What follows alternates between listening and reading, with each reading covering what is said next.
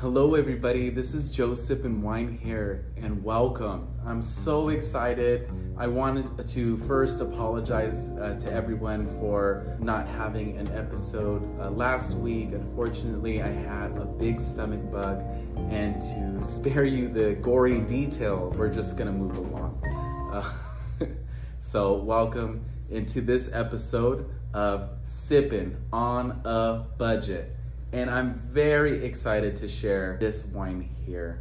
Um, this wine is my first cab that I'm sharing, and I'm very excited to uh, share it with you guys today. Um, but before we get into that, of course, we have to talk about my featured plant.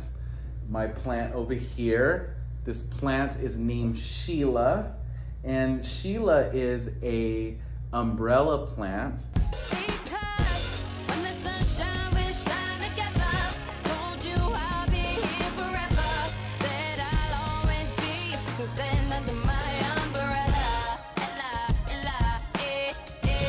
Is such a great addition to the house. She really lights up uh, my day and my family's day. I want to give a special shout out uh, to my cousin Desiree, who gifted the plant to me, as she knows, you know, that I am a hashtag plant daddy. So it was very nice.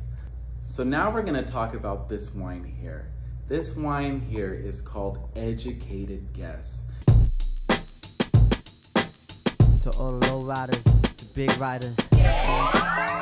Word up. What's happening in the car, yo? For real, minute. Brand new truck, butter sauce seat, four point something with a low ride something. It is a 2021 Cabernet Sauvignon.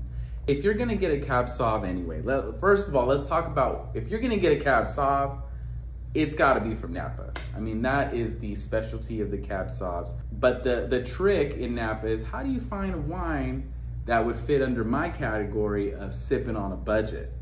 And so that's what this one comes in, the 2021 Cab Sauv Educated Guess, made from Roots Run Deep Vineyards. This specific wine was ranked number one for the, the top 50 most inexpensive wines basically best bang for your buck type of wine.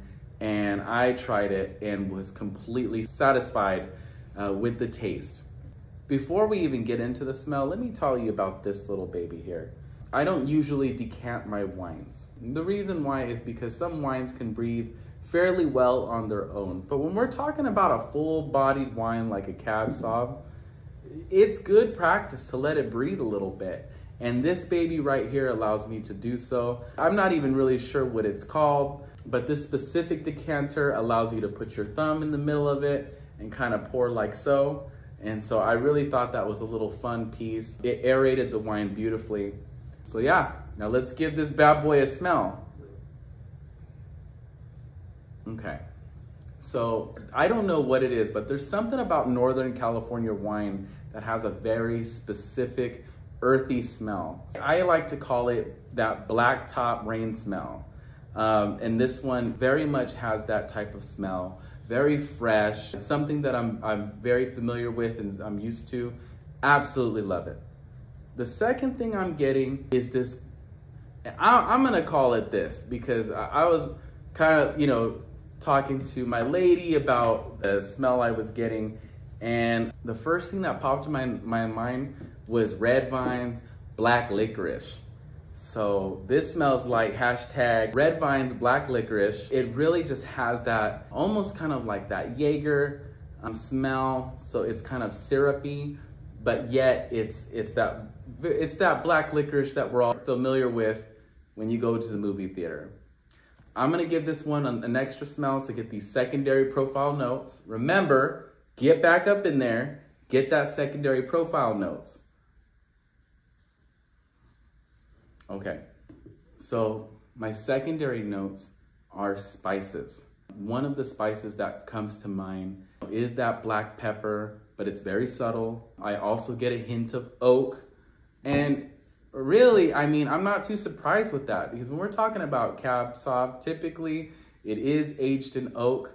It allows that wine to get that nice vanilla oaky type of uh, taste to it. It's almost this uh, I don't, uh, my lady put it mouth-watering, longing taste. And it's because she really loves Cab Sauv. And I'm not usually the one that will go, it's, it's my first choice as I really like a fruit forward, bold, big and juicy type wine. But this wine right here, it's a big and bold wine. This is big body right here. Okay, so now let's give this bad boy a taste.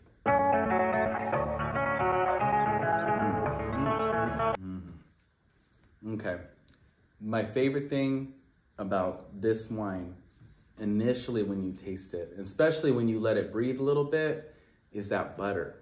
You do get a little bit of butter when when you taste, uh, um, in my opinion, of what is a good cab sauv.